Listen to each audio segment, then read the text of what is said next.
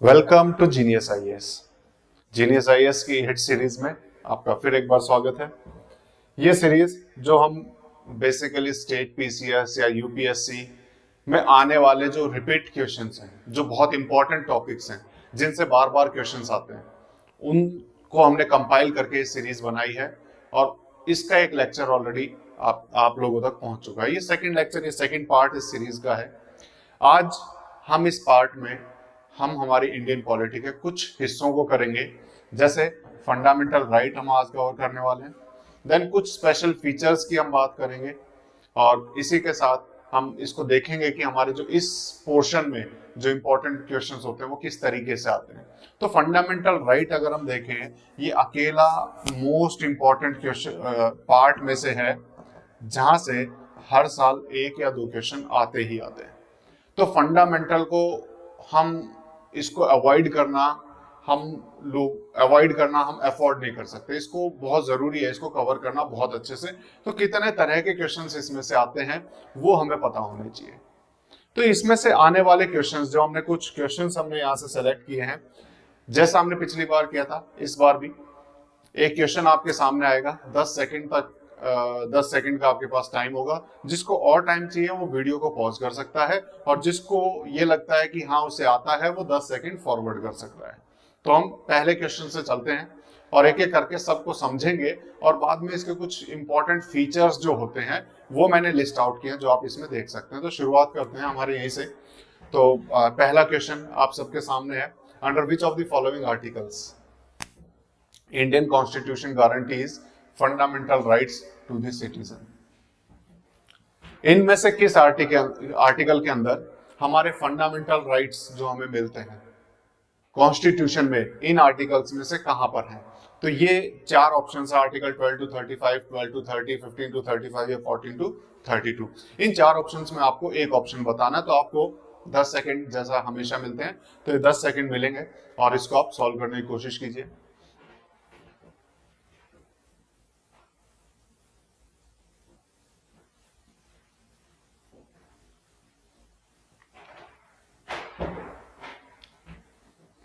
बहुत सारे एस्पिरेंट्स ने बहुत सारे स्टूडेंट्स ने इसको बहुत सही बताया होगा, क्योंकि बहुत बेसिक क्वेश्चन क्वेश्चंस में से एक है। हमारा फंडामेंटल राइट्स हमारे कॉन्स्टिट्यूशन में, एक क्वेश्चन इसके अलावा जो बनता है, वो बनता है कौन से पार्ट में दिए गए हैं। तो हमारा part three of the constitution वो डील करता है फंडामेंटल राइट से। Part three of the constitution हमारे कॉन्स्टिट्यूशन का भाग तीन पार्ट थ्री हमारे फंडामेंटल राइट से डील करता है और इस पार्ट थ्री में हमारे आर्टिकल 12 से लेकर 35 तक दिए गए हैं। कहाँ से कहाँ तक है? 12 टू 35 तो हमारे जो फंडामेंटल राइट्स हैं कॉन्स्टिट्यूशन में आर्टिकल 12 टू 35 में मेंशन है। तो हमारा इसका आंसर हो जाएगा वन ठीक है? अगले क्वेश्चन पे चलते हैं। तो इसमें ये ये भी बड़ा इंपॉर्टेंट क्वेश्चन है। ये कई बार पूछा गया है। अलग अलग स्टेट पीसीएस ने बहुत बार पूछा है कि हमारे कौन से पार्ट में फंडामेंटल राइट आते हैं। कौन से पार्ट में डीपीएसपी आते हैं? कौन से पार्ट में फंडामेंटल ड्यूटीज़ आती हैं? तो हम जब आर्टिकल्स को कर रहे हैं, एक बहुत कॉमन क्वेश्चन स्टेट पीसेस पूछता है कि इन आर्टिकल्स को उसके अंदर क्या प्रोविज़न है, उनके साथ मैच कीजिए। तो जब फंडामेंटल कर रहे हैं तो फंडामेंटल राइट्स हमें विद आर्टिकल याद होने चाहिए सभी कि कौन से आर्टिकल में कौन सा फंडामेंटल राइट दिया गया है। मैच द फॉलोइंग के लिए बहुत इंपॉर्टेंट क्वेश्चन रहता है। उसके साथ साथ ये पार्ट्स भी बहुत बार पूछे जाते हैं और एक तीसरा क्वेश्चन जो शेड्यूल्स वो भी पूछे जाते हैं, जिसको हम आज कवर करेंगे। तो पार्ट थ्री में फंडामेंटल राइट्स और आर्टिकल 12 टू 35 ये हमारा क्वेश्चन सॉल्व हो जाता है। नेक्स्ट क्वेश्चन की तरफ़ जब हम चलते हैं तो Indian constitution right to freedom वो इनमें से किस आर्टिकल में दिए गए हैं? राइट टू फ्रीडम सबसे पहली चीज़, कि हमारे कॉन्स्टिट्यूशन में कितने तरह के राइट्स हैं? जो फंडामेंटल राइट्स हैं, कितने फंडामेंटल राइट्स हमारे पास अवेलेबल हैं? तो ये सब हमें पता है कि हमारे पास टोटल छह फंडामेंटल राइट है। लेकिन जब हमारा कॉन्स्टिट्यूशन बना था, एक क्वेश्चन ये बहुत इंपॉर्टेंट एक बार पहले पूछा गया है कि जब हमारा कॉन्स्टिट्यूशन बना था तब हमारे पास, हमारे कॉन्स्टिट्यूशन में कितने फंडामेंटल राइट थे? तो ओरिजिनली अगर हम देखें तो हमारे पास सात फंडामेंटल राइट थे, लेकिन आज हमारे पास छह हैं। यानी एक फंडामेंटल राइट डिलीट हुआ है। वो कौन सा हुआ है? तब तक आप सोचिए उसको क्वेश्चन के क्वेश्चन के द्वारा हम करेंगे। तो आज हमारे पास छह फंडामेंटल राइट हैं, और उन एक, उन छह फंडामेंटल राइट में से एक है राइट टू फ्रीडम वो इनमें से किस आर्टिकल्स के अंदर आता है? ये हमारा क्वेश्चन है। तो चार ऑप्शन है। आपके पास दस सेकेंड है। आप इसको सॉल्व करने की कोशिश कीजिए, फिर हम आगे चलते हैं।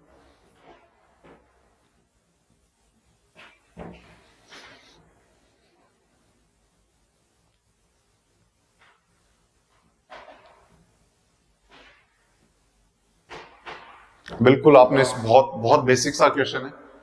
छह के छह आर्टिकल के हमें आर्टिकल याद होने चाहिए। छह छह छह के छह जो फ्रीडम राइट टू फ्रीडम है राइट टू इक्वालिटी है, इन सब राइट्स के हमें आर्टिकल याद होने चाहिए कि कहाँ से कहाँ तक है। एक एक लिस्ट आपके पास तैयार होनी चाहिए। तो हमारे जो राइट टू फ्रीडम है, वो आर्टिकल 19 टू 22 के अंदर आते हैं। हमने अभी थोड़ी देर पहले पढ़ा कि 12 से 35 आर्टिकल 12 टू 35 हमारे सारे फंडामेंटल राइट गिवन है। तो ये सारे आर्टिकल सारे आर्टिकल 12 में क्या है 13 में क्या है 14 में क्या है, ये हमें पता होना चाहिए। आर्टिकल 13 के ऊपर इंपॉर्टेंट क्वेश्चन पूछा जाता है कि जुडिशियल रिव्यू की पावर हमें कहाँ से मिलती है? जुडिशियल रिव्यू की पावर हमें कौन से आर्टिकल से मिलती है? तो आर्टिकल 13 ये हमें पता होना चाहिए। देन उसके बाद हमारा राइट टू इक्वालिटी आता है आर्टिकल 14 टू 18 आर्टिकल 14 टू 18 क्या आता है? राइट टू इक्वालिटी और उसके बाद 19 टू 20 हमारा आ जाता है राइट टू फ्रीडम ठीक है? तो हमारा राइट टू फ्रीडम हो जाएगा 19 टू 20 एक एक के ऊपर बात करेंगे टेंशन मतलब अभी हमें एक एक करके देखते चलना। अब अगला हमारा आता है। ये इस तरीके से पूछा जाता है कि इनमें से जो मेंशन किया गया वो किस आर्टिकल में है? तो अभी किस चीज़ के बारे में पूछ रहा है? हमारा इसमें पूछ रहा है in which article eradicates untouchability untouchability को रिमूव करने की बात कौन से आर्टिकल में की गई है and prohibits its practice in any form जो किसी भी रूप में इसकी प्रैक्टिस को प्रोहिबिट करता है। अनटचेबिलिटी को रिमूव करने की बात कौन से आर्टिकल में है? तो जस्ट फाइव सेकंड्स के आपको मिलते हैं। जिसको पता है, उसको पता है, क्योंकि बहुत सीधा सीधा सा क्वेश्चन है। तो आप इसको सॉल्व कर पाएँगे बिल्कुल बहुत सारे एस्पिरेंट्स ने इसको सही भी बताया होगा। तो आर्टिकल 17 हमारा हो जाता है। हमारा जिसमें हम रिमूव करने की बात करते हैं अनटचेबिलिटी को, कि भारत से हमें अनटचेबिलिटी को हर प्रैक्टिस में रिमूव करना है। ठीक है? एक बहुत इंपॉर्टेंट चीज़ जो फंडामेंटल राइट्स के बारे में पता होनी चाहिए। हर फंडामेंटल राइट्स के पीछे कुछ ना कुछ रेस्ट्रिक्शंस है। उनको एब्सोल्यूट तरीके से, पूरे तरीके से लागू नहीं किया जा सकता। कुछ रेस्ट्रिक्शन हर एक तरीके से जैसे हम अगर इक्वालिटी की बात करें तो इक्वालिटी को पूरी तरीके से लागू नहीं किया जा सकता। कुछ लोगों को स्पेशल पावर दी गई है। जैसे एमपीज एमएलए प्रेसिडेंट इन सबको स्पेशल पावर है। तो इक्वालिटी तो है नहीं, लेकिन वो पावर्स मिली हैं। कुछ रेस्ट्रिक्शंस हैं। इसकी वजह से उन्हें पावर भी मिली हुई है। कुछ रेस्ट्रिक्शंस के तहत हम इक्वालिटी के साथ सबके साथ ट्रीट नहीं कर सकते। जैसे एक एग्जांपल अगर हम देखें राइट टू इक्वालिटी का कि बस में हमने देखा होगा कुछ सीट्स वुमेन के लिए रिज़र्व होती है। जब हम नौकरी के लिए अप्लाई करते हैं, कहीं ना कहीं रिजर्वेशन होता है। वो राइट टू इक्वालिटी के अगेंस्ट है, लेकिन वो रेस्ट्रिक्शंस में आता है कि हाँ हम यहाँ पर राइट टू इक्वालिटी नहीं भी फॉलो करें तो चलेगा क्योंकि कॉन्स्टिट्यूशन में मेंशन है। तो सारे आर्टिकल्स को अगर हम देखें, कहीं ना कहीं कुछ ना कुछ रेस्ट्रिक्शन हमें मिलते हैं, लेकिन आर्टिकल 17 ऐसा है जिसके अंदर किसी भी तरह का कोई रेस्ट्रिक्शन नहीं है। तो अकेला ऐसा फंडामेंटल राइट है जो ऑब्सोल्यूट है। जिसका कोई रेस्ट्रिक्शन नहीं है। अगर अनटचेबिलिटी को रिमूव करना है तो हर फॉर्म में रिमूव करना है। कोई इसके अंदर रीजनेबल रेस्ट्रिक्शन नहीं है। हर फॉर्म में रिमूव करना पड़ेगा। ये एब्सोल्यूट आर्टिकल का एक एग्जांपल है। एब्सोल्यूट आर्टिकल जो हमारे कॉन्स्टिट्यूशन में है। ठीक है? चलो, हम अगले क्वेश्चन की तरफ़ चलते हैं। Which one of the following is not properly matched इस तरह का क्वेश्चन बहुत इंपॉर्टेंट है। यही इस टाइप के क्वेश्चन ही आते हैं। कि इनमें से कौन सा प्रॉपरली मेज्ड नहीं है? तो आपके सामने चार आर्टिकल है, उनके आगे चार प्रोविज़न लिखे हुए हैं। तो कौन सा नहीं है? आपको 10 सेकंड इसके लिए मिलते हैं, पढ़िए। शुरू होता time article 23 prohibition of traffic in human and forced labor. Article 24, prohibition of employment of children in factories. Article 26, freedom to manage religious affairs. And Article 29, freedom of establishment and administration of educational institution by minorities. इनमें से कौन सा सही और कौन सा नहीं जिसने पढ़े हैं वो देखते ही बता सकते हैं तो इसमें से हम जैसा कहेंगे आर्टिकल 23 बिल्कुल सही है article 23 prohibition of traffic in human and force labour की बात करते हैं। क्वेश्चन है नॉट मेस्ड ठीक है, जो सही नहीं है वो बताना है। आर्टिकल 24 भी बिल्कुल सही है। Prohibition of employment of children in factories बिल्कुल सही बात करता है। In hazardous environment in hazardous environment prohibition of employment of children hazardous environment या फिर फैक्ट्रीज नेक्स्ट आर्टिकल 26 भी बिल्कुल सही लिखा हुआ है freedom to manage religious affairs लेकिन ये जो लिखा हुआ है, ये गलत लिखा हुआ है, ये आर्टिकल 30 लिखा हुआ है यहाँ पर। जो प्रोविज़न है, ये आर्टिकल 30 का दिया गया है to establish and administer educational institution by minorities minorities को जो हमें फ्रीडम दी हुई है to establish educational institution and to administer educational institutions वो आर्टिकल 30 के तहत है। आर्टिकल 29 नहीं है। आर्टिकल 29 में क्या होता है? आर्टिकल 29 में माइनॉरिटीज को हमने राइट्स दिए हुए हैं to conserve their language script and culture ठीक है? तो ये हमें पता होना चाहिए। लैंग्वेज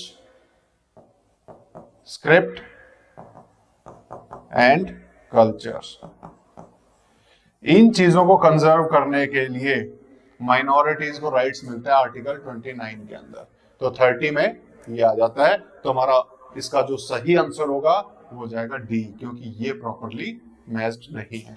ठीक है तो डी आंसर हो जाएगा। चलिए अगले क्वेश्चन की तरफ़ चलते हैं। Under the Indian constitution who is the guardian of the fundamental rights ये बहुत कॉमन क्वेश्चन है।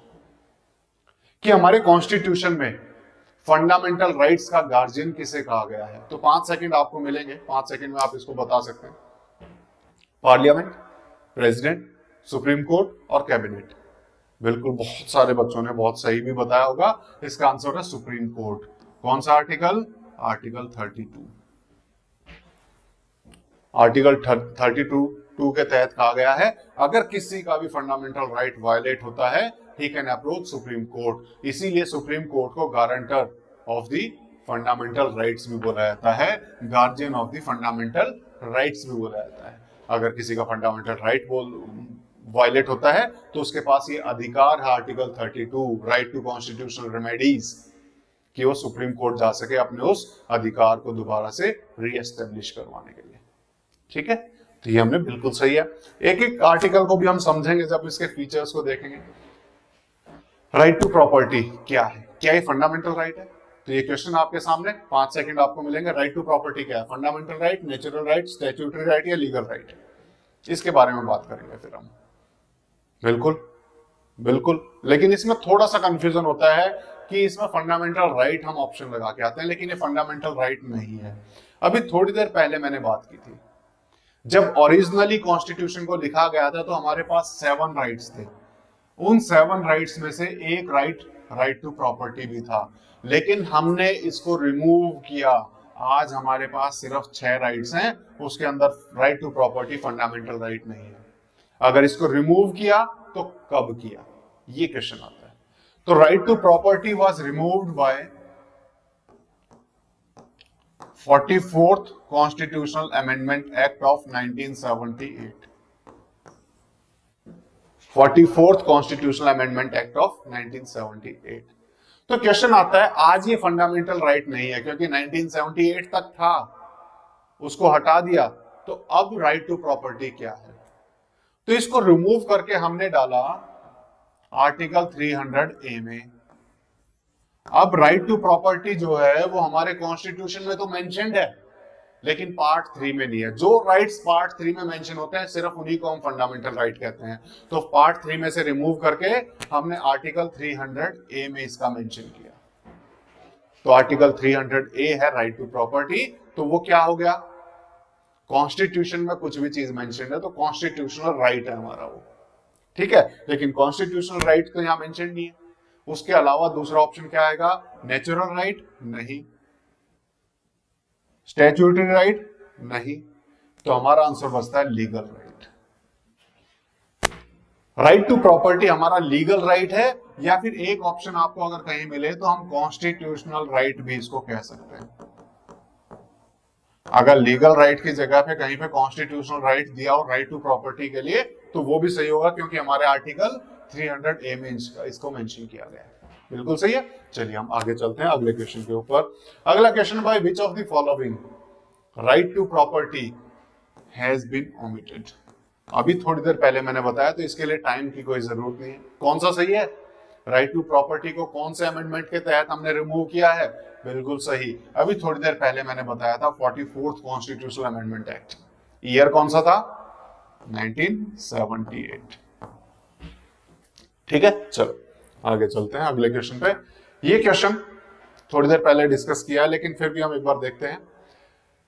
एसर्शन और रीजनिंग का क्वेश्चन है दो स्टेटमेंट है। उन दो स्टेटमेंट का आपस में कोई रिलेशन है या नहीं कोई स्टेटमेंट सही है या गलत है वो हमें बताना है। तो बेसिकली पहला स्टेटमेंट बोलता है doctor Ambedkar describe article 32 of the constitution as as the soul of the constitution doctor Ambedkar ने आर्टिकल 32 को सोल ऑफ़ द कॉन्स्टिट्यूशन बोला था। क्या ये बात सही है? आपको बताना है। सेकंड स्टेटमेंट भी हम पढ़ते हैं। Article 32 provides effective remedy against violation of fundamental rights कि आर्टिकल 32 हमें रेमेडी प्रोवाइड करता है जब भी आपका फंडामेंटल राइट वायलेट होता है। इन दोनों में से क्या आपको कोई स्टेटमेंट गलत लग रहा है? या दोनों सही हैं। अगर दोनों सही हैं तो क्या ये दोनों स्टेट स्टेटमेंट आपस से आपस में किसी भी तरह रिलेटेबल है, ये आपको बताना है तो टेन सेकेंड्स का टाइम है। पहला ऑप्शन है कि both are true and R यानी reason is the correct explanation of assertion ठीक है? अगला both are true but R is not the correct explanation of the assertion ठीक है? चलो, हो सकता है भी। सेकेंड सी अगर हम देखें तो ए ट्रू है आर फॉल्स है। क्या है सही है? डी है A is false and R is true तो कौन सा सही है? बिल्कुल। इसके लिए आपको पता होना चाहिए आर्टिकल 32 को डॉक्टर बी आर अंबेडकर ने सोल ऑफ़ द कॉन्स्टिट्यूशन बोला था। क्यों बोला था? क्योंकि रीजन यही था। आर्टिकल 32 हमें रेमेडी प्रोवाइड करता है कि जब भी आपका फंडामेंटल राइट वायलेट होगा वायलेट होगा तो आप सीधा सुप्रीम कोर्ट जा सकते हैं अपने उस फंडामेंटल राइट को वापस क्लेम करने के लिए। और इसीलिए डॉक्टर बी आर अंबेडकर ने इसको सोल ऑफ़ द कॉन्स्टिट्यूशन बोला था। दोनों स्टेटमेंट सही हैं और reason is the explanation of the assertion ठीक है? तो हमारा ऑप्शन ए का सही हो जाएगा। ठीक है? चलिए आगे चलते हैं। आर्टिकल 32 के बारे में और भी इंपॉर्टेंट चीज़ें जो हमें पता होनी चाहिए। आर्टिकल 32 गारंटी देता है फंडामेंटल राइट्स की। सुप्रीम कोर्ट जाने की हमें आज़ादी देता है। और इसके अलावा आर्टिकल 32 में कुछ रिट्स को मेंशन किया गया है। आप सुप्रीम कोर्ट जाके उन रिट्स को लागू करवा सकते हैं। वो रिट्स कौन कौन सी है? पाँच रिट्स हैं। वो पाँचों रिट के नाम और उनका मीनिंग हमें पता होना चाहिए। मैच द फॉलोइंग में वो भी आ सकता है। तो पाँचों रिट्स कौन कौन से? वो हमने डिस्क्रिप्शन में भी लिखी है। अभी थोड़ी देर पहले हम, थोड़ी देर बाद हम उसको देखेंगे।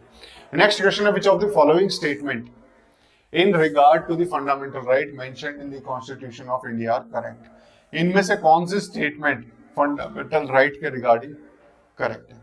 तो फंडामेंटल राइट्स के कुछ फीचर्स हमें पता होने चाहिए। तो उसके बारे में पहला statement they are permanent in nature that is they can not be established क्या सही है? ये आप बताएँगे। उसके बाद ऑप्शन के हिसाब से कि इनमें से कौन सा ऑप्शन सही है। They are not amendable as far as their basic philosophy is concern पूरा स्टेटमेंट पढ़ना और ध्यान ध्यान से पढ़ना है। They can be suspended they can be available only to the citizens and not to legal or commercial entities besides being defended by the constitution of india they are guaranteed by the supreme court and the high courts as well as president of india तो इनमें से कौन कौन सा सही है कौन सा गलत है या सारे सही है ये आपको बताने हैं ठीक है तो पाँच सेकंड और आप ऑप्शंस देख लीजिए, उस हिसाब से अंदाज़ा लगाने, क्योंकि जैसे मैं पढ़ रहा हूँ तो आपको अंदाज़ा हो जाना चाहिए कि ये सही है या गलत है। चलिए, पाँच सेकंड में आप डिसाइड कीजिए। जिसको टाइम चाहिए वो पॉज कर सकता है वीडियो को, ताकि उसको थोड़ा सा टाइम मिल जाए। बिल्कुल, अब हम बात करते हैं। पहली चीज़ they are permanent in nature क्या ऐसा है?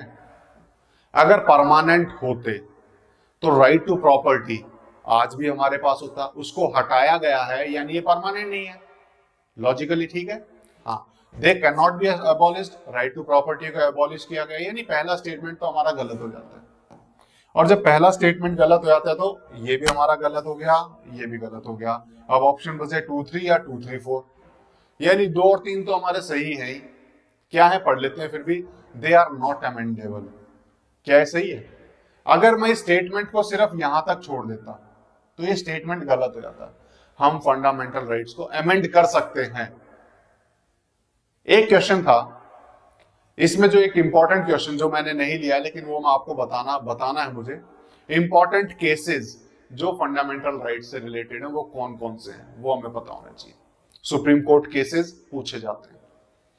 गोलकनाथ केस 1967 आईसी गोलकनाथ उसमें कहा गया था कि parliament can not amend fundamental rights parliament fundamental rights को टच नहीं कर सकती।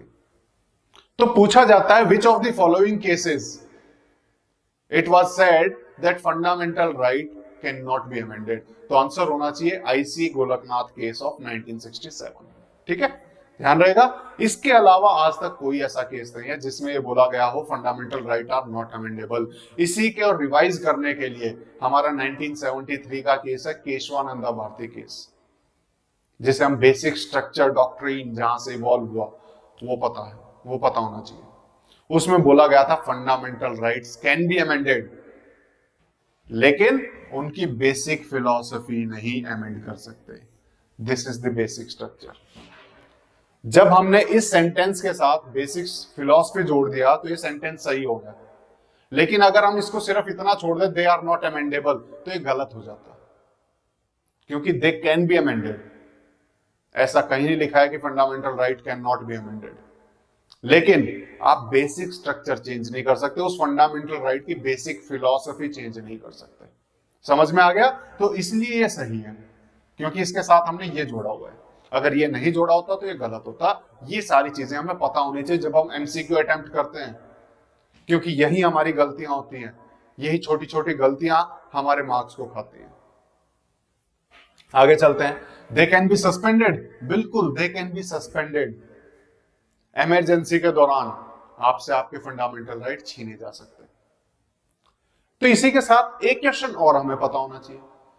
क्या कोई ऐसा फंडामेंटल राइट है जिसको सस्पेंड नहीं किया जा सकता। हाँ है। कौन कौन से? आर्टिकल 20 और आर्टिकल 21 ये दो राइट ऐसे हैं जिन्हें हम इन एलियनेबल राइट कहते हैं। इन एलियनेबल राइट क्यों कहते हैं? क्योंकि इन्हें इमरजेंसी के दौरान भी छीना नहीं जा सकता। इन्हें रिमूव नहीं किया जा सकता आर्टिकल 20 और 21 क्या शुरुआत से ऐसे थे? नहीं। जब इंदिरा गांधी ने इमरजेंसी लगाई थी। तब उस टाइम पे सारे फंडामेंटल राइट छीन लिए थे हमारे। उसके बाद जो नेक्स्ट अमेंडमेंट हुआ था forty fourth constitutional amendment act उसमें कहा गया था कि ये दो राइट्स ऐसे रहेंगे जिन्हें आप कभी भी नहीं छीन सकते इमरजेंसी के दौरान नहीं छीन सकते। तो इसीलिए आर्टिकल 20 और 21 को इन एलियनेबल राइट्स कहा जाता है। समझ में है ठीक है। अगला चलते हैं। ठीक है, ये फोर्थ हमारा सही हो जाएगा। सॉरी दे आर थर्ड हमारा सही हो जाएगा फोर्थ को हम पढ़ते हैं। फोर्थ क्या है? They can be available only to citizen not to legal और कॉमर्शियल एंटिटीज लीगल और कॉमर्शियल एंटिटीज को भी राइट्स अवेलेबल हैं। अब इसमें एक छोटा सा क्वेश्चन हमारे पास आता है, क्या कुछ राइट्स ऐसे हैं जो सिर्फ़ और सिर्फ़ सिटीजन के लिए अवेलेबल है? हाँ है। लेकिन उसके अलावा जो राइट्स हैं, वो सबके लिए अवेलेबल है। सिर्फ़ सिटीजन के लिए कौन से अवेलेबल है? वो हमें पता होने चाहिए। आर्टिकल 15 आर्टिकल 6 ये नंबर लिख लेना कहीं पे। बहुत इंपॉर्टेंट है। 15 16 19 29 एंड 30 ये पाँच आर्टिकल ऐसे हैं those are available only to citizen ये आर्टिकल सिर्फ़ और सिर्फ़ सिटीजन को अवेलेबल है। ये राइट्स इसीलिए सिटीजन होने का फ़ायदा हमारे देश में। इसीलिए लोग सिटीजनशिप का कोई पूछे कि सिटीजनशिप का फ़ायदा क्या है? तो जब हम इंडिया के सिटीजन हैं तो हमें ये एक्स्ट्रा राइट्स मिलते हैं। आर्टिकल 15, 16, 19, 29 एंड 30 इसके अलावा जितने भी राइट हैं वो सभी के लिए अवेलेबल है चाहे वो फॉरनर है चाहे वो इंडियन है।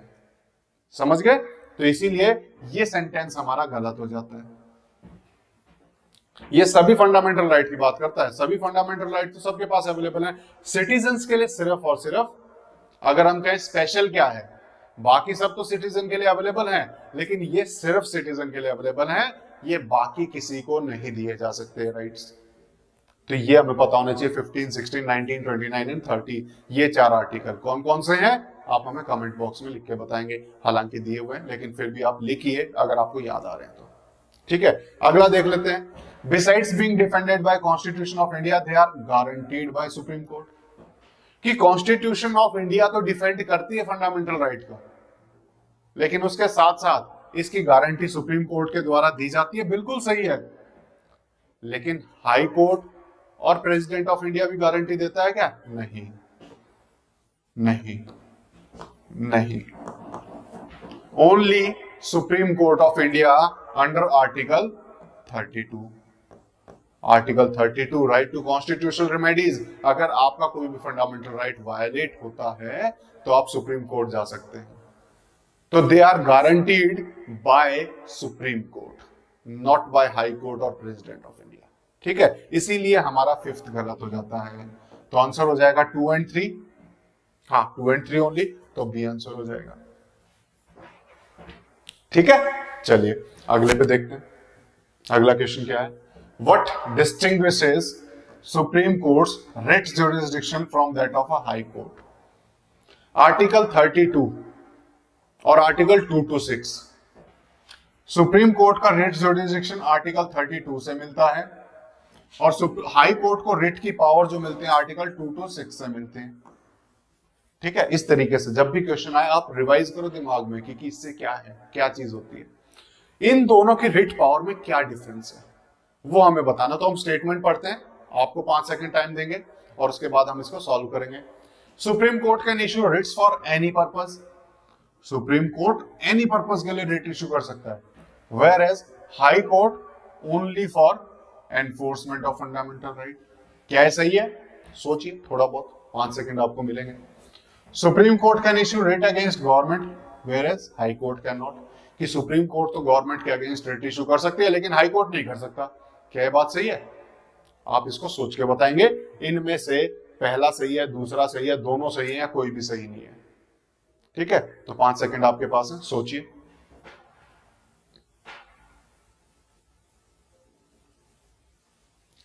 चलिए। ये बहुत कंफ्यूजिंग से थोड़े से स्टेटमेंट होते हैं तो इन, इनके ऊपर ध्यान देना बड़ा ज़रूरी है, जो इस टाइप के होते हैं, ठीक है? आर्टिकल 32 हमारे फंडामेंटल राइट्स में आता है।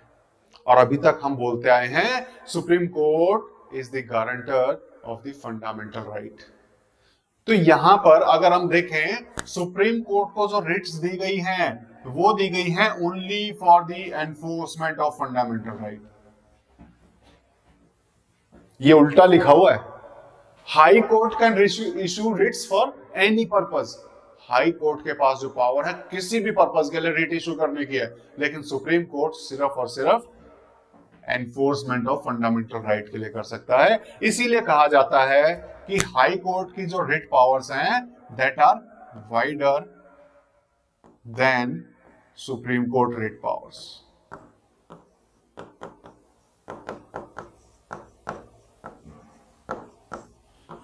high court के writ powers are wider than the supreme court of writ powers. क्यों? क्योंकि सुप्रीम कोर्ट तो सिर्फ़ और सिर्फ़ फंडामेंटल राइट्स के लिए रिट इशू कर सकता है और हाई कोर्ट एनी पर्पज के लिए रिट इशू कर सकता है।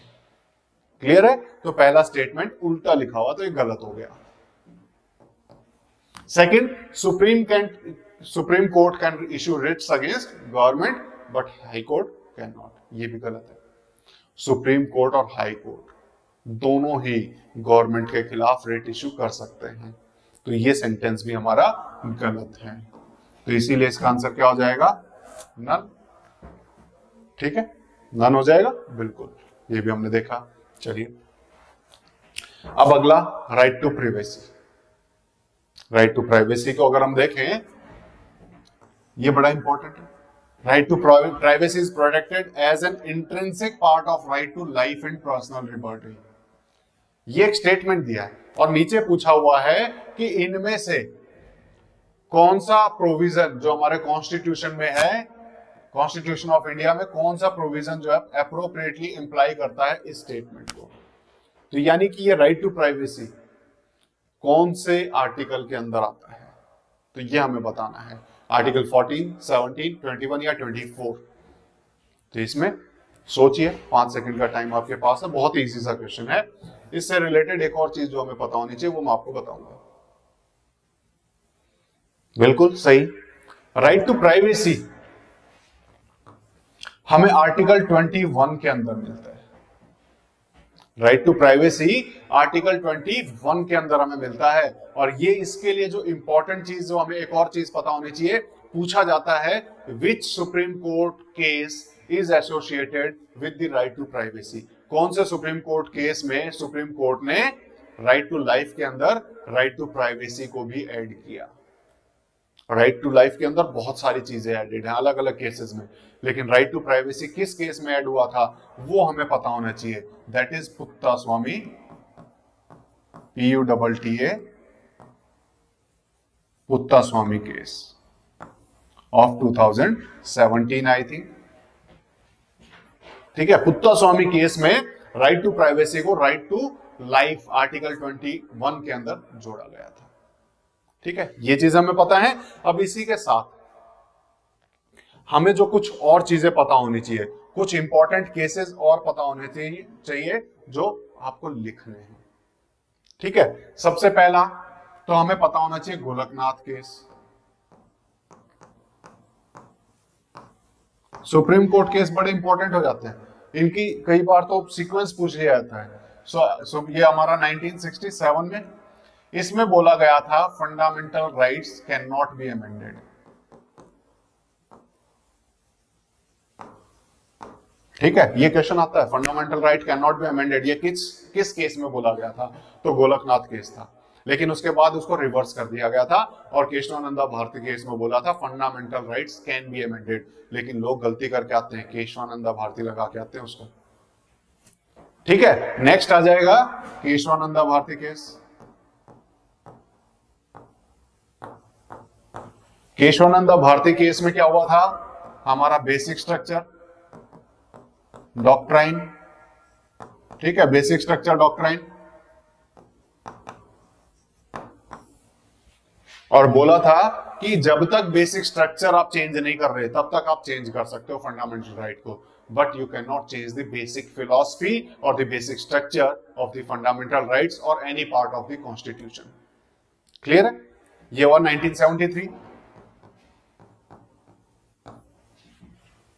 ठीक है? फिर उसके बाद दो केसेस और। आपको पता होना चाहिए मेनका गांधी केस स्पेलिंग मनेका लिखते हैं उसको, लेकिन बोलते मेनका है, ठीक है? मेनका गांधी केस मेनका गांधी केस में क्या हुआ था? आर्टिकल 21 को बहुत ब्रॉडर पर्सपेक्टिव में देखा जाने लगा।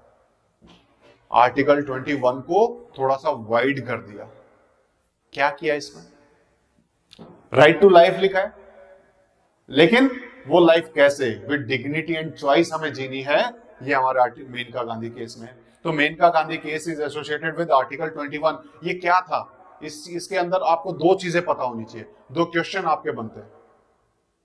ये बेसिकली मेनका गांधी के पासपोर्ट को लेके था। कि मेरा जो पासपोर्ट है, मेरा अधिकार है, मुझे वर्ल्ड में कहीं भी जाने का अधिकार है। इस केस को लेकर लड़ने गए थे। तब उसके अंदर दो चीज़ें हमें पता होनी चाहिए, कि राइट टू मूव हमारे पास है कि हम कहीं भी जा सकते हैं। लेकिन अगर हमें आउटसाइड इंडिया जाना है तो यह अधिकार हमें आर्टिकल 21 से मिलता है। लेकिन हमें right to move inside India करना है विद इन इंडिया करना है यह हमें आर्टिकल 21 से मिलता है। सॉरी आर्टिकल 19 से मिलता है। ये दो चीज़ें हमें पता होनी चाहिए। Right to move outside India Bharat के बाहर जाना है तो राइट टू लाइफ आर्टिकल 21 से एसोसिएटेड है। लेकिन वहीं पर right to move inside India है विद इन इंडिया है इंडिया के अंदर आपको कहीं भी मूव करना है तो आर्टिकल 19 एसोसिएटेड है। ठीक है? ये चीज़ें पता होगी अब उसके बाद जो नेक्स्ट हमें पता होना चाहिए, अभी थोड़ी देर पहले मैंने बताया, Puttaswamy. Case for right to privacy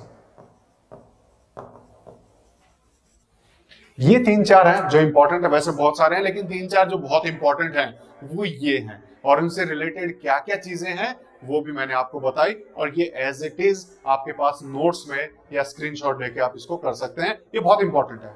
वैसे में राइटिंग नहीं समझ में आएगी तो आप अपने ही नोट्स बनाए, ज़्यादा बेहतर होगा। लिखेंगे, ज़्यादा समझ में आएगा। ठीक है? चलो। यहाँ तक हो गया। अब ये मैंने कुछ नोट्स आपको दिए हुए हैं, ताकि आप रिवाइज करें तो यहीं से कर सकें। ये टेलीग्राम चैनल पे हमारे सब ये मिल जाता है आपको, वहाँ से आप ले सकते हैं। ठीक है? तो नीचे डिस्क्रिप्शन में आपको टेलीग्राम चैनल का लिंक भी मिल जाएगा। वहाँ आपसे ये इसकी फ़ाइल हमारे टेलीग्राम चैनल पे हम डाल देंगे, वहाँ से आप ले सकते हैं। तो हमारा राइट टू इक्वालिटी सबसे पहला राइट 14 टू 18 आर्टिकल के अंदर कौन कौन से आर्टिकल से क्या रिलेटेड वो हमने लिख दिया।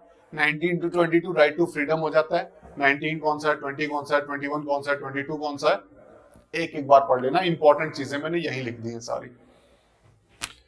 आर्टिकल 20 23 और 24 राइट अगेंस्ट एक्सप्लॉइटेशन होता है। 23 में क्या है 24 में क्या है, पता होना चाहिए। 25 टू 28 राइट टू रिलीजन क्या क्या है? पता होना चाहिए। 29 30 राइट टू माइनॉरिटीज है। जैसा अब ये क्वेश्चन में किया था 29 तो बोलता है to conserve language script and culture उसके लिए माइनॉरिटीज को राइट्स दिए गए हैं। लेकिन 30 बोलता है to establish and administer educational institutions ठीक है? ये चीज़ें पता है तो हम आगे चलते हैं। उसके बाद आर्टिकल 32 ये रहा। Article 32 right to constitutional remedies ये हमारा छठा सिक्स फंडामेंटल राइट और एक राइट जो हमारे पास और था, वो था राइट टू प्रॉपर्टी जो हमने रिमूव कर दिया फोर्टी फोर्थ अमेंडमेंट से। ये हमारे कौन से आर्टिकल में था? आर्टिकल 31 में था। आज कहाँ पर है? हमारे आर्टिकल 300 ए में है। ठीक है? इतनी चीज़ें पता है? बस। आपके फंडामेंटल राइट्स कवर है। इसके जो फीचर्स हैं जो मैंने अभी बताए वो यहाँ लिख दिए हैं। क्या क्या है? कि कुछ फंडामेंटल राइट्स जो सिर्फ़ और सिर्फ़ सिटीजन को अवेलेबल है। वो कौन कौन से हैं? वो आपको पता होने चाहिए। Some of the fundamentals are available to all citizen कौन कौन से? 15, 16, 19, 29 एंड 30 ठीक है? ये लिख लेना। ये सिर्फ़ सिटीजन को है। इसके अलावा बाकी सबके लिए अवेलेबल है। सिटीजन प्लस फॉरनर्स ठीक है? सेकेंड चीज़ फंडामेंटल राइट एब्सोल्यूट नहीं होते हैं। उनको हटाया भी जा सकता है। उनके ऊपर रीजनेबल रेस्ट्रिक्शंस भी है। एक और वर्ड आता है दे आर नॉट सेक्रोसेंट ऐसा नहीं है कि वो इन वायलेबल है। उनको वायलेट किया जा सकता है। ठीक है? अलग अलग रीजन के द्वारा। तो नॉट सैक्रोसेंट ये वर्ड भी याद रखना। Fundamental rights are not sacrosanct ठीक है? क्वेश्चन आएगा fundamental rights are sacrosanct is this statement correct और रॉन्ग तो आप क्या लगाएँगे रॉन्ग क्योंकि fundamental rights are not sacrosanct और नॉट एब्सोल्यूट अगला आता है कि फंडामेंटल राइट्स आर जस्टिसिएबल ये इंपॉर्टेंट क्यों है? क्योंकि इसके अगला पार्ट डीपीएसपी वो नॉन जस्टिसिएबल है। ये जस्टिसिएबल होते हैं। फंडामेंटल ड्यूटीज़ नॉन जस्टिसिएबल है। लेकिन फंडामेंटल राइट्स आर जस्टिसिएबल ठीक है? यह ध्यान रहेगा। इसका मतलब हो जाता है they can be enforced by courts अगला क्या है? फंडामेंटल राइट्स को अमेंड किया जा सकता है या नहीं किया जा सकता है। Fundamental rights can be amended by parliament लेकिन only if the amendment does not alter the basic structure of the constitution. वह अमेंडमेंट बेसिक स्ट्रक्चर को टच नहीं कर रहा, तब तक हम उसे टच कर सकते हैं। ठीक है? क्लियर अगला क्या है कि fundamental rights of Indian constitution उन्हें हम सस्पेंड कर सकते हैं नहीं? कर सकते हैं। They can be suspended during emergency लेकिन 20 और 21 कैन नॉट बी सस्पेंडेड ठीक है? क्लियर है? Application of fundamental rights can be restricted fundamental right का एप्लीकेशन कई जगह पे रेस्ट्रिक्ट कर दिया जाता है। जैसे कहीं पे अगर हम मार्शल लॉ लगा दें, वहाँ पर फंडामेंटल राइट्स नहीं लागू होते। ठीक है? तो ये हमने यहाँ पे लिखा है। ये इंपॉर्टेंट फीचर्स हैं जो आप पढ़ोगे, जो आपको बहुत फास्ट रिवीजन के लिए आपके काम में आएँगे। एक बार इस वीडियो को देख लिया और फिर उसके बाद पीडीएफ को रिवाइज करने में आपको पंद्रह मिनट से ज़्यादा नहीं लगेंगे। पंद्रह मिनट में आपके फंडामेंटल राइट कवर हो जाएँगे शेड्यूल्स कवर हो जाएँगे, एक आधा फीचर भी कवर हो जाएगा। जैसा मैंने बोला था, एक एक एक आधा एक आधा फीचर से रिलेटेड क्वेश्चन मैं हर एक वीडियो में लाता रहूँगा। ये हमारे पाँच रिट हैं, जो हमें पता होने चाहिए। सबसे पहला habeas corpus to have the body of कि मेरे सामने लेके आओ। ठीक है? Mandamus we order we command हम ऑर्डर देते हैं, तुम अपनी ड्यूटी क्यों नहीं कर रहे हो? तो ड्यूटी अगर करवानी है तो मेंडेमस की रिट इशू होती है। अगला है को वारंटो बाय वट अथॉरिटी कि किस वारंट से, किस अथॉरिटी से तुम इस कुर्सी पे बैठे हो? मुझे जवाब दो कि तुमने एक गलत जगह, तुम यहाँ, तुम्हारी यहाँ पे अधिकार नहीं है, तुम अपना गलत अधिकार जमा रहे हो। तो सुप्रीम कोर्ट ये रिट इश्यू कर सकती है। देन प्रोहिबिशन एंड सर्च्योररी ठीक है लोअर कोर्ट्स को इश्यू की जा, की जाने वाली रिट्स कि ये लोअर कोर्ट्स को इश्यू करेंगे कि तुम किस अथॉरिटी से इस केस के ऊपर काम करो या हमारे पास ट्रांसफ़र करो। ठीक है? ये इंपॉर्टेंट है और उसके अंदर क्या चीज़ है? मैंने ऑलरेडी इंपॉर्टेंट इंपॉर्टेंट चीज़ें बता दी हैं आपको। आप इसको देख सकते हैं। ठीक है? बहुत जल्दी आपका रिविजन हो जाएगा। पाँचों रेट्स मैंने एक जगह पर रख दिए। और उसके बाद एक फीचर से रिलेटेड कुछ बेसिक से रिलेटेड एक क्वेश्चन देख लेते हैं। एक यूपीएससी ने क्वेश्चन पूछा था कि स्टेट का मीनिंग क्या होता है? What do understand by state आपको आप वीडियो पॉज करना, दो सेकंड के लिए मैं साइड में हो जाता हूँ और इसका आंसर करने की कोशिश करना। फिर मैं इसको एक्सप्लेन करता हूँ, ठीक है? चलिए। वीडियो पॉज कर लीजिए, जिसको पढ़ना है। ठीक है, चलो। अब इसका आंसर करने की कोशिश करते हैं। बहुत लंबे लंबे स्टेटमेंट है, इसलिए मैंने ज़्यादा टाइम ना लेते हुए। स्टेट होता क्या है? एक स्टेट के अंदर चार चीज़ें होनी बहुत ज़रूरी है। कोई भी स्टेट है हम किसी भी चीज़ को स्टेट कब कहेंगे? जब उसके अंदर चार कंपोनेंट्स अवेलेबल हो। कौन कौन सा? लिख लेते हैं ताकि हमें इजीली अवेलेबल हो। सबसे पहली चीज़, वहाँ की एक डिफाइंड टेरिटरी होनी चाहिए। डिफाइंड टेरिटरी दूसरी चीज़, उस टेरिटरी में रहने वाली एक पॉपुलेशन होनी चाहिए। उस जगह पर रहने वाले कुछ लोग होने चाहिए, जो कहें कि हम यहीं के हैं।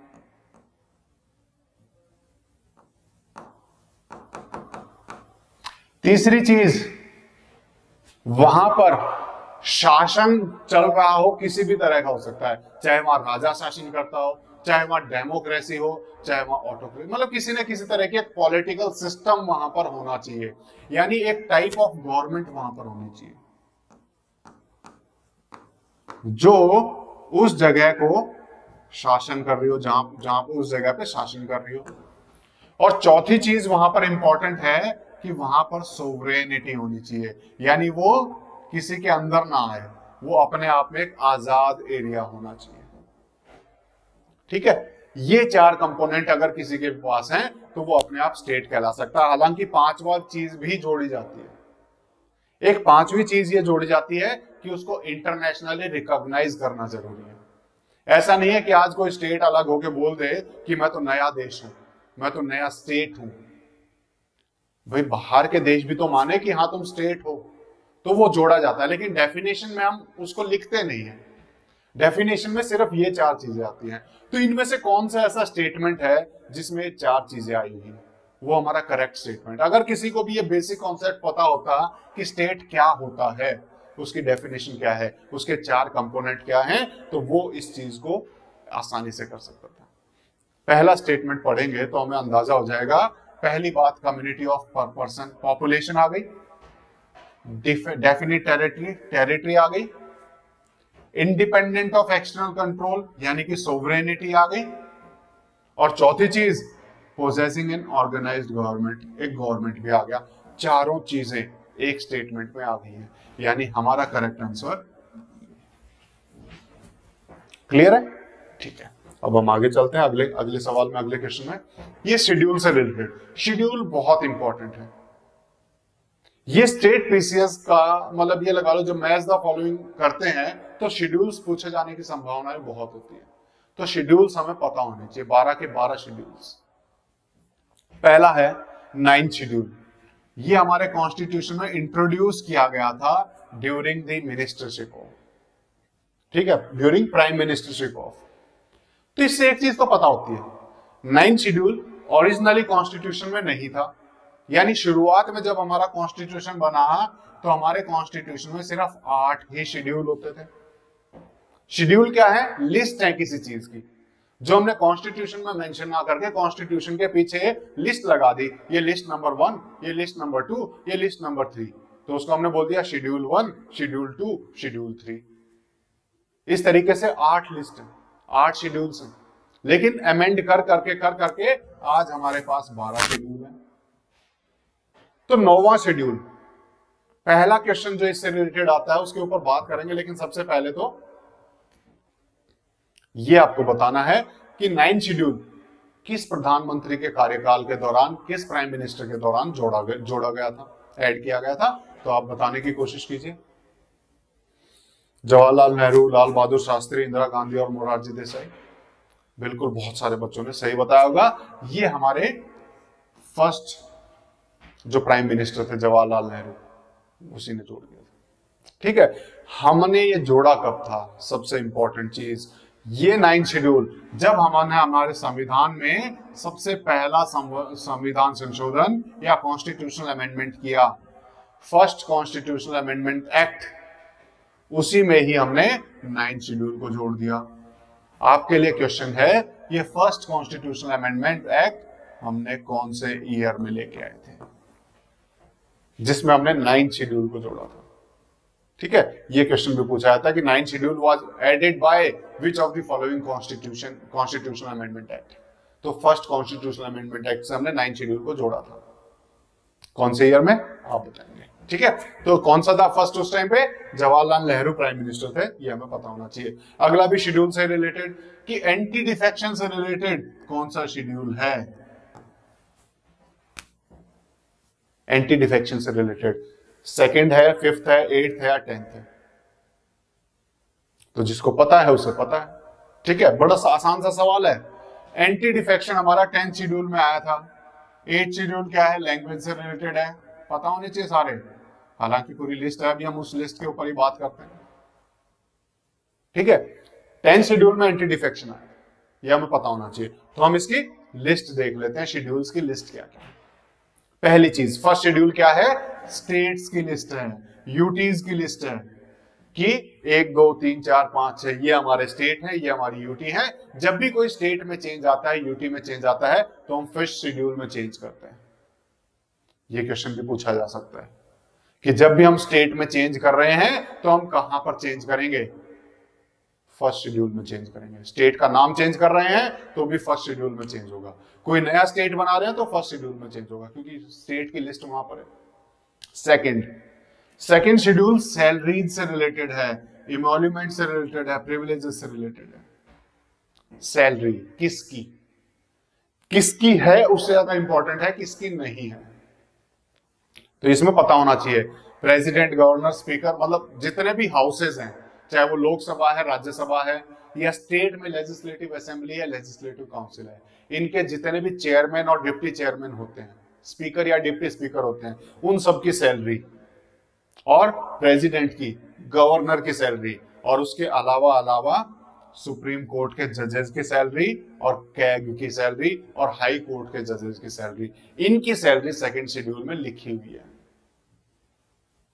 इनकी सैलरी सेकंड शेड्यूल में मेंशन है कि इनकी इतनी सैलरी होगी। तो जब भी इनमें सैलरी में कोई भी अमेंडमेंट किया जाता है, जब भी पार्लियामेंट कहती है कि इनकी सैलरी हम बढ़ा रहे हैं तो वो सेकेंड शेड्यूल में अमेंड करेंगे। किन की नहीं है जो इंपॉर्टेंट क्वेश्चन पूछा जाता है? कि पूछा जाएगा सेकेंड शेड्यूल में इनकी सैलरी है या नहीं? तो किसी भी एमपी की एमएलए की मिनिस्टर्स की इलेक्शन कमिश्नर की यूपीएससी मेंबर्स की सैलरी इसमें नहीं होती है। सिर्फ़ CAG high court, supreme court के जजेस और जितने भी हाउसेज के जो चेयरपर्सन है उनकी और प्रेसिडेंट और गवर्नर, इनकी सैलरी है। थर्ड शेड्यूल आता है ओथ से रिलेटेड। ओथ, किसकी ओथ? जितने भी मिनिस्टर बनते हैं, सभी मिनिस्टर्स की। ठीक है, जितने भी इलेक्शन लड़ना चाहते हैं, वो इलेक्शन कमीशन के सामने एक ओथ लेके आते हैं तो वो ओथ भी यहाँ पर दी है कंटेस्टेंट्स ठीक है देन उसके बाद हम जजेस जो हैं सुप्रीम कोर्ट हाई कोर्ट के जजेस जो ओथ लेते हैं कैग जो ओथ लेता है, इन सब की ओथ यहाँ पर है। ठीक है? क्लियर ये ध्यान रखना। अब इसमें किसकी नहीं है? प्रेसिडेंट वाइस प्रेसिडेंट और जितने भी यहाँ पर वो थे ना चेयरपर्सन लोकसभा के चेयरमैन या जिसे हम कहते हैं स्पीकर डिप्टी स्पीकर राज्यसभा के chairman vice chairman deputy chairman इन सब की ओथ यहाँ पर नहीं है। सिर्फ़ इनकी ओथ है। ठीक है, पढ़ लेना ध्यान से इसको। मैं आपको टेलीग्राम चैनल पे दे रहा हूँ तो ध्यान से इसको पढ़ना। फोर्थ शेड्यूल फोर्थ शेड्यूल क्या है? राज्यसभा में सीट किस स्टेट से कितनी आएँगी? Allocation of states seats in Rajya Sabha from states and UTs किस यूटी से कितनी सीट राज्यसभा के लिए है? किस स्टेट से कितनी सीट राज्यसभा के लिए वो। ध्यान रखना, लोकसभा की सीट कौन से राज्य से आएँगी? वो किसी भी शेड्यूल में नहीं है। लोकसभा की सीट्स किसी भी शेड्यूल में नहीं है, राज्यसभा की है, फोर्थ शेड्यूल में। ठीक है? क्लियर है? एक लास्ट ये हम देखते हैं कि फिफ्थ शेड्यूल क्या होता है? शेड्यूल्ड एरिया और शेड्यूल ट्राइब्स के एडमिनिस्ट्रेशन का। ठीक है? और वही सिक्स शेड्यूल भी हमें पता होना चाहिए। एडमिनिस्ट्रेशन ऑफ़ ट्राइबल एरियाज़ कहाँ के? चार स्टेट आसाम, मेघालय, त्रिपुरा और मिजोरम। ये चार स्टेट का सिक्स शेड्यूल में है। उसके अलावा भारत में जहाँ कहीं भी नॉर्थ ईस्टर्न एरिया में जो ट्राइबल एरिया है, वो सिक्स शेड्यूल डील करता है। उसके अलावा पूरे भारत में जितने भी ट्राइबल एरियाज़ हैं, शेड्यूल्ड एरियाज़ हैं, उन सबको फिफ्थ शेड्यूल डील करता है। क्लियर है? ध्यान रहेगा? याद करने के लिए मैंने बता दिया है ये इंपॉर्टेंट है। सबसे ज़्यादा अगर कोई शेड्यूल पूछा जाता है तो फिफ्थ शेड्यूल, सिक्स शेड्यूल पूछा जाता है। ठीक है? तो इसलिए दोनों बड़े इंपॉर्टेंट हो जाते हैं। Seven schedule division of power union list state list concurrent list उसमें क्या क्या सब्जेक्ट्स रहेंगे, उस लिस्ट में क्या क्या आइटम है, वो यहाँ पर लिखा हुआ है। Seven schedule division of power ठीक है? यूनियन लिस्ट स्टेट लिस्ट और कंकरेंट लिस्ट अगला है एट शेड्यूल एट शेड्यूल में लैंग्वेजेस लिखी गई है। ऑफिशियली रिकॉग्नाइज लैंग्वेज कितनी है? बाईस लैंग्वेज है हमारी, अगर हम देखें। ऑफिशियल लैंग्वेज जिसे हम कहते हैं टोटल आज के टाइम बाईस लैंग्वेज है।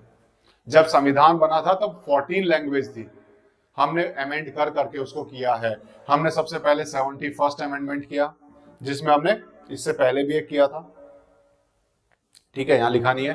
कोई बात नहीं सेवेंटी फ़र्स्ट में हमने तीन तीन जोड़ी थी, कोंकणी, मणिपुरी और नेपाली। इसको नहीं पूछते हैं, पूछा जाता है कि लास्ट में जो अमेंडमेंट हुआ था, वो हुआ था ninety second constitutional amendment act of 2003 इसमें चार लैंग्वेज आई थी, बोडो, डोंगरी, मैथिली, सिंथाली। ये चार नाम पता होने चाहिए। लास्ट ये चार एड हुए थे। अब उसके बाद कहेंगे नाइनटी सिक्स अमेंडमेंट 2011 में ओडिया। ओडिया ऐड नहीं किया। पहले इसका नाम ओरिया होता था। ओ आर आई वाई ए लेकिन उस भाषा को बदल के ओडिया कर दिया है तो वो नाम भी तो चेंज करेंगे ना, वो इसीलिए वो है। तो इसको लो, अगर आप याद ना भी रखो तो चल जाएगा। ये हटा देना डिलीट कर देना। सिर्फ़ नाइनटी सेकेंड अमेंडमेंट एक्ट इसमें चार ऐड हुई थी, और उसके बाद से हमारी टोटल लैंग्वेज हो गई बाईस। तो आज के टाइम पे एट शेड्यूल में बाईस लैंग्वेज है, ये पता होना चाहिए। नाइन शेड्यूल अभी थोड़ी देर पहले मैंने बताया फ़र्स्ट कॉन्स्टिट्यूशनल अमेंडमेंट एक्ट से आया था। लैंड रिलेटेड प्रोविज़न या और दूसरे प्रोविज़न उसमें डाले जाते हैं ताकि जुडिशियल रिव्यू से बचाया जा सके। ठीक है? बहुत लंबा टॉपिक है नाइन शेड्यूल का, उसमें बहुत सारे केसेस हमें पढ़ने पड़ते हैं। ठीक है? अभी सिर्फ़ इतना ध्यान रखिए। Tenth schedule anti defection related है। कब आया? Fifty second amendment act of 1985 eleven schedule और ट्वेल्थ शेड्यूल हमारे लोकल गवर्नमेंट से रिलेटेड है। इलेवंथ है पंचायत से रिलेटेड और ट्वेल्थ है म्यूनिसिपैलिटीज से रिलेटेड इलेवंथ में ट्वेंटी नाइन सब्जेक्ट है, कहा गया इसमें लिखा है? हाँ ट्वेंटी नाइन सब्जेक्ट है और ट्वेल्थ शेड्यूल में हमारे एटीन सब्जेक्ट हो जाते हैं। कौन से आर्टिकल से रिलेटेड है? Eleven two forty three G और twelve two forty three W panchayat और म्यूनिसिपैलिटी से रिलेटेड आर्टिकल हर बार स्टेट हर बार स्टेट पीसीएस में पूछे जाते हैं, बहुत इंपॉर्टेंट है। Important articles of panchayat and municipalities वो आपको याद करना है। ठीक है? जब हम आएँगे उस टॉपिक पे, तब हम करेंगे। तो आज के इस वीडियो के लिए हम इतना ही रखते हैं। कुछ बेसिक फीचर हमने पढ़े फंडामेंटल राइट्स पढ़ी शेड्यूल सारे पढ़ लिए। इतना सब कुछ आपको अब याद हो जाना चाहिए। इस पीपीटी से, इस पीडीएफ से जो हम आपको प्रोवाइड कराएँगे, आपको ये चीज़ें भी पता है तो आप बहुत सारे क्वेश्चन सॉल्व कर पाएँगे। जो एडिशनल इंफॉर्मेशन मैंने लिखवाई है, वो बहुत इंपॉर्टेंट है। वो क्वेश्चन आए हुए हैं जो मैंने आपको बताए ठीक है? तो आज के वीडियो के लिए इतना ही करते हैं। नेक्स्ट पार्ट जब हम लेके आएँगे, उसमें बहुत सारी चीज़ें और इंक्लूड करेंगे। अलग ऐसे इसके आगे के टॉपिक्स हम इंक्लूड करेंगे और बहुत जल्दी ही लगभग हर सब्जेक्ट को हम यहाँ कवर करेंगे जितना हो पाता है।